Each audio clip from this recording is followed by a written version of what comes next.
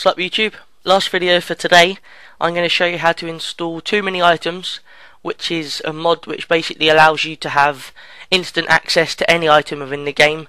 All you have to do is open up your inventory and on the right hand side of your screen will be every item.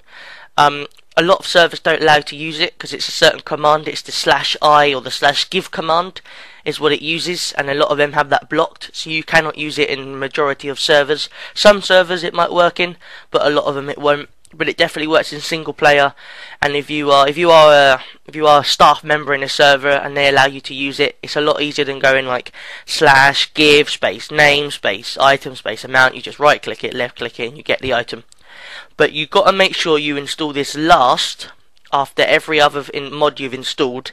I don't understand why that works, but trust me on it, install it last. Otherwise, it just it won't appear and it won't work.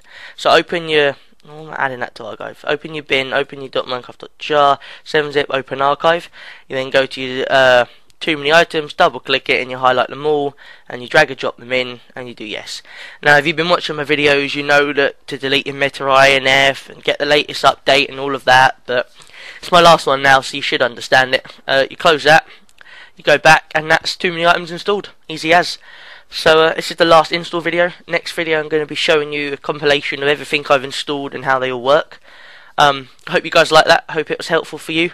Don't forget, rate, comment, subscribe, and watch the next video. Bye.